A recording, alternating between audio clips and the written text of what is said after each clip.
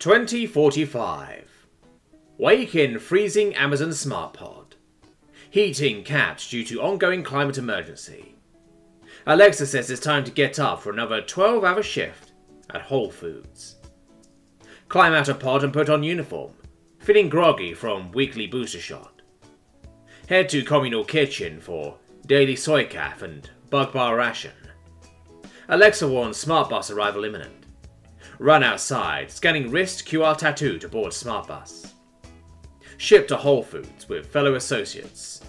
Placed on worm dog stand duty again. Mess up a few orders. Boomers and Karens leave negative associate reviews. Social credit score dips. Lowering place in work hour allotment list. Will take ages to pay off Amazon fulfillment training debts now. Soul can head back to designated smart pod.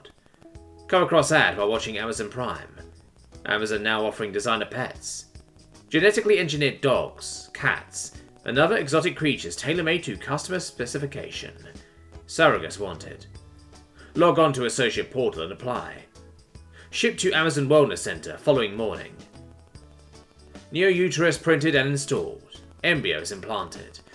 Shipped back to work. Weeks pass. Podmates, co-workers, and customers tease as belly swells. Back gets sore. Walk becomes waddle. Uniform gets tight. Getting groped by climate refugees. Can't resist without risking termination. Eager to get these things out. Realize credits only awarded per successful pet fulfillment. Still a few thousand short of paying off debts. Begrudgingly schedule future implantations.